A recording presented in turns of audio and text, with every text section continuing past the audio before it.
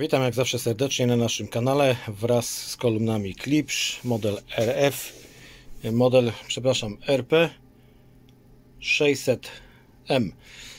E, kolumny dojechały do nas, do nas e, od pana Roberta z Wałbrzycha. Panie Robercie, serdecznie pozdrawiamy. I teraz, co je trapi? No więc już mówię. Grają normalnie, jest wszystko ok, natomiast podczas odsłuchu, czyli normalnego grania, co jakiś czas zaczyna się strzał. Jest tak jak z pejcza, z bicza, ostry strzał pojawia się w tych kolumnach. Z doświadczenia już wiemy, że następuje przebicie okładzin kondensatora. Niby tak, niby nie, to jest naprawdę szerokie pole do dyskusji. Można by polemizować, czy, czy ten kondensator dostaje przebicia, czy nie. Yy, powiem tak, prosto i nienaukowo i zrozumiale powiem tak, że kondensator e, obcina pewne zbocza, kondensator równoległy oczywiście też wpływa na spadek zbocza głośnika niskotonowego. Natomiast jeśli jest elektrolit, działa to tak, że kondensator się wysyca, wysyca, chociaż on ma swoją pojemność i tego nie robi, ale powtarzam, powiem w skrócie i mało naukowo.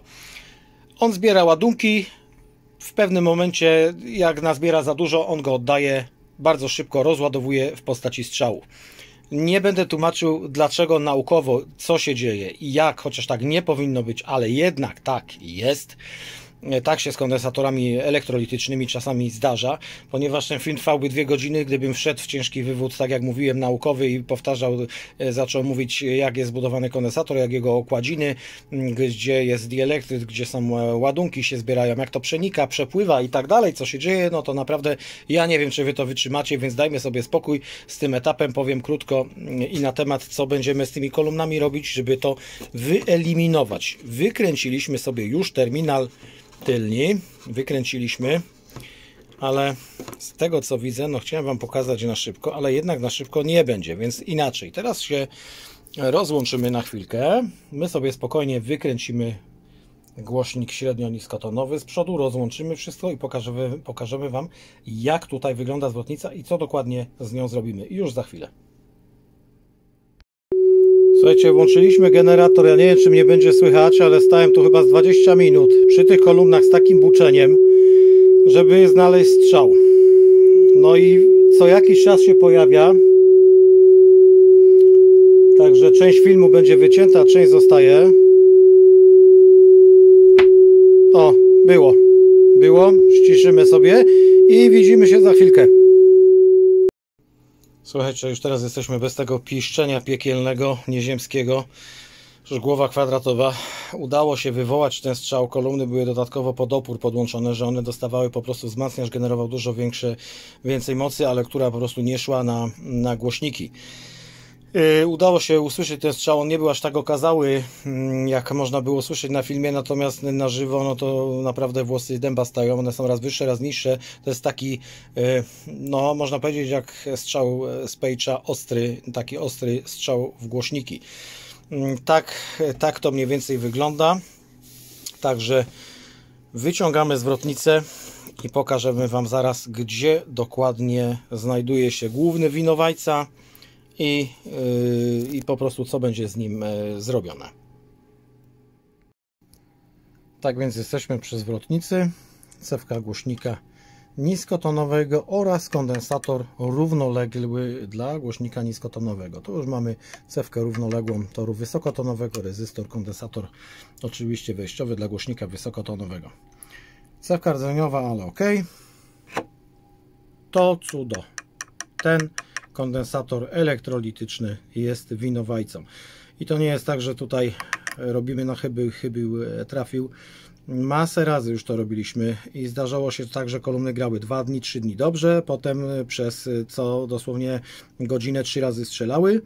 Potem znowu tydzień spokój, znowu jak im odbiło, zrobiło się troszkę głośniej, znowu zaczęły strzelać. Tak więc to jest po prostu po wymianie tego kondensatora mm, elektrolitycznego ten objaw zupełnie ustępuje. No można by tutaj, jak już takie kolumny się robi, wypadałoby dosłownie wstawić jakiś kondensator foliowy, nie jakiś chociażby podstawowy, ale foliowy, no nie elektrolit. To nie są aż takie koszty, natomiast elektrolit, no dla mnie to jest po prostu zawsze jakieś tam ostateczne zło. Także tego 43 mikrofarady kondensatorek tego właśnie kondensatora mm, będziemy się pozbywali. Dobrnęliśmy do finału z kolumnami Eclipse P600M.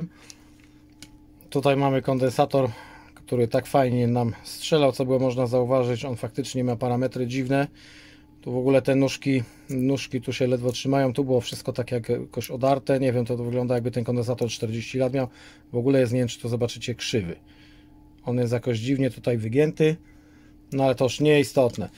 Tutaj mamy ten kondensator, założyliśmy crosskapa Jansena tej samej pojemności, sprawdzone oczywiście cewki posprawdzane, okablowanie przelutowane w newralgicznych miejscach na wyjściu i na wejściu do zwrotnicy. Oczywiście rezystor w torze głośnika wysokotonowego został wymieniony z ceramicznego na Jansena Superes.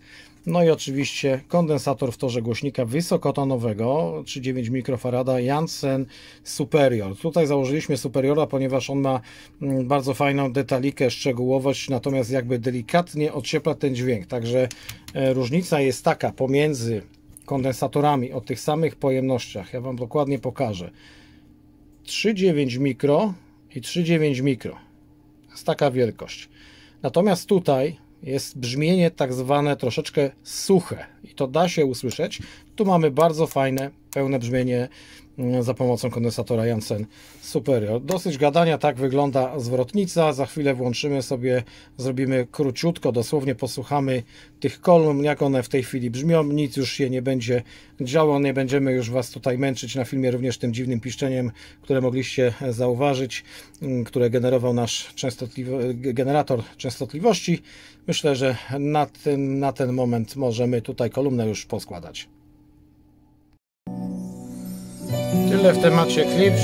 W tej chwili po 8 godzin grają. Nic kompletnie się nie dzieje. Były testowane, męczone dźwiękowo i tak dalej, i tak dalej. Także zupełnie inny, przyjemniejszy, taki łagodniejszy, ale również detaliczny dźwięk w tej chwili. Myślę, że tym optymistycznym akcentem możemy spokojnie już zakończyć. Serdecznie dziękuję za oglądanie. Pana Roberta z Wałbrzycha pozdrawiam i życzę miłego słuchania. W razie gdyby się coś działo, mamy do siebie kontakt. Panie Robercie, zapraszam, ale myślę, że już naprawdę nic tutaj z kolumnami na tym etapie się nie stanie, że będzie wszystko dobrze. Jeszcze raz wszystkiego dobrego. Pozdrawiam serdecznie.